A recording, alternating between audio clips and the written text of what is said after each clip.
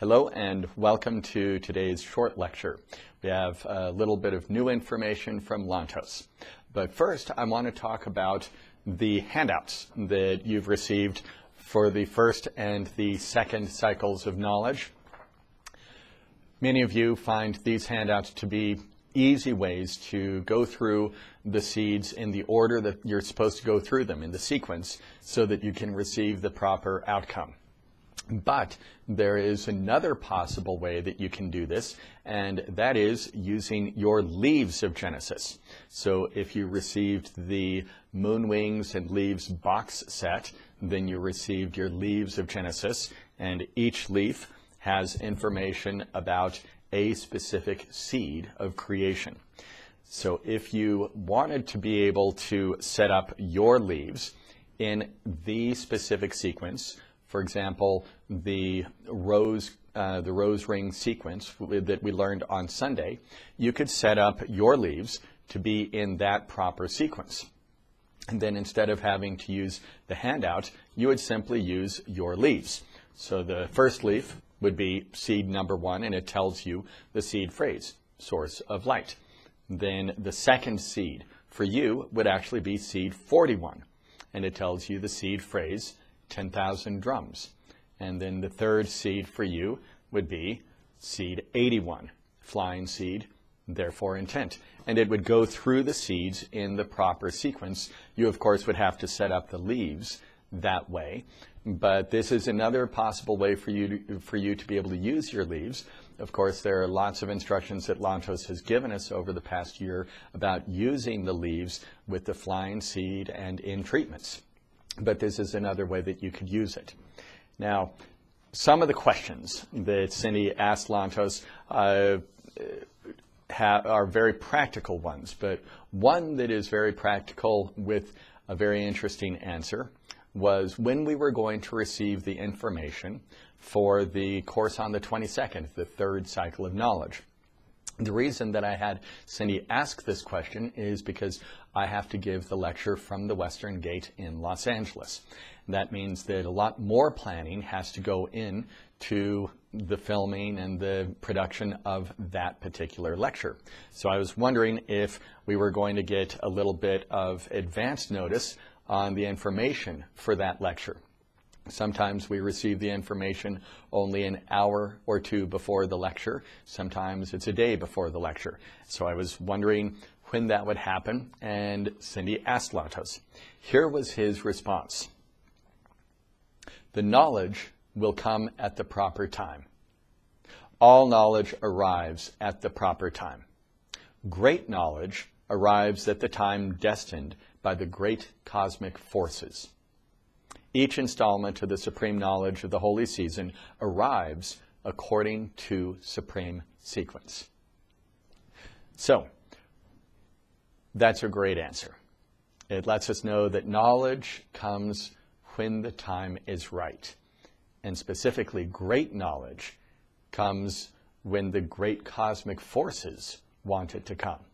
So we'll receive this knowledge whenever we receive it. All I know for sure is that I will have it in time to give it to you on December 22nd.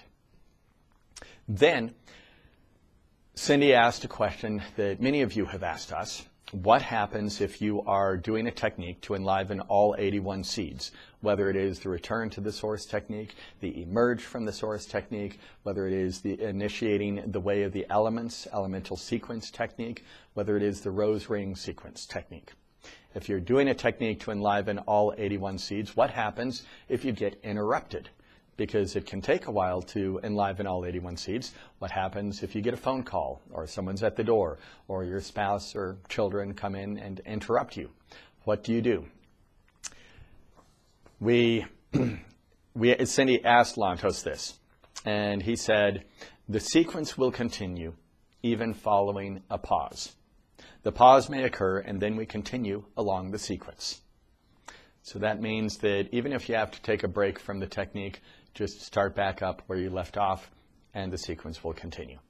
Then Cindy asked, what if someone forgets where they are in the process? He said, it may happen. Then we continue. So all that means is if you forget which seed you were supposed to be enlivening. Let's say you're going on the, you're doing the return to the source technique. 81 down to seed 1. And you are at seed 60, maybe. You can't remember if you enlivened seed 61 or if you're supposed to be enlivening 61. It's okay, just go ahead and enliven seed 61. It'll be fine. And same thing if you can't remember how many times you have spun the way for that particular seed. It may be that you have spun the way twice, but you think maybe it was three times and you can't remember.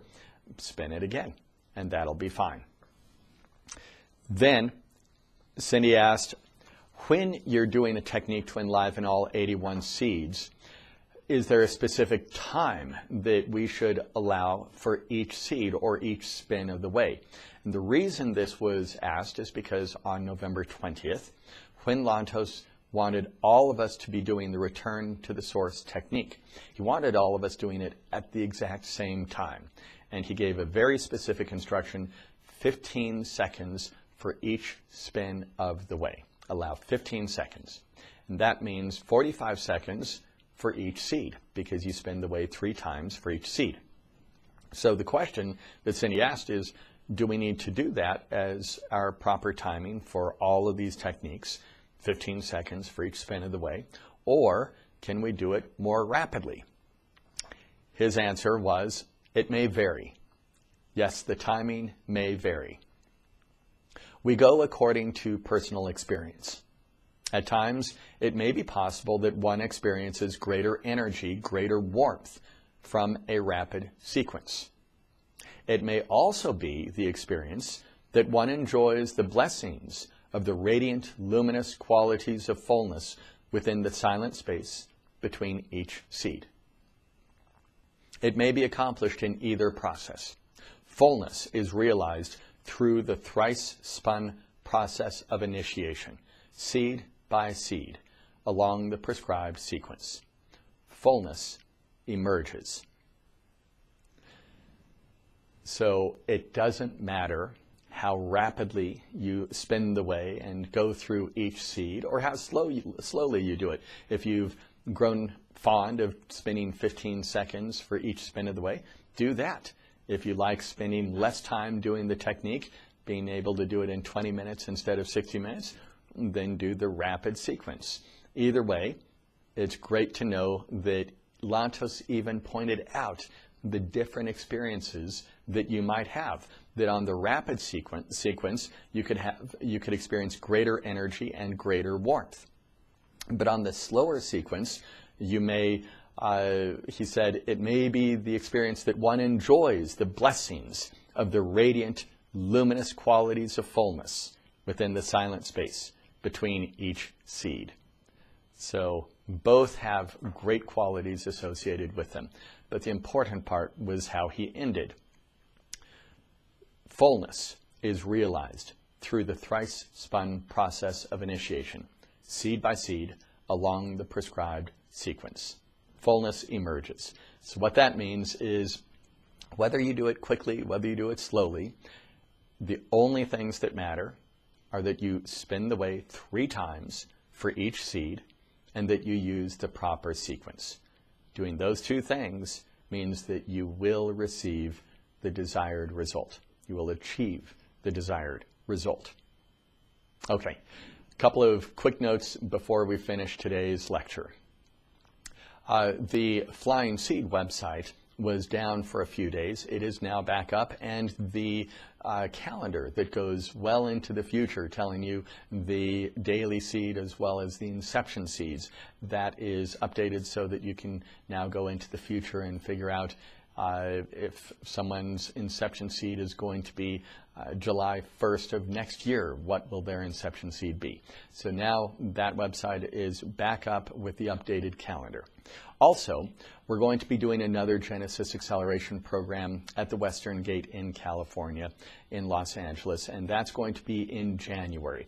We're pretty sure it's going to be January 18th and 19th.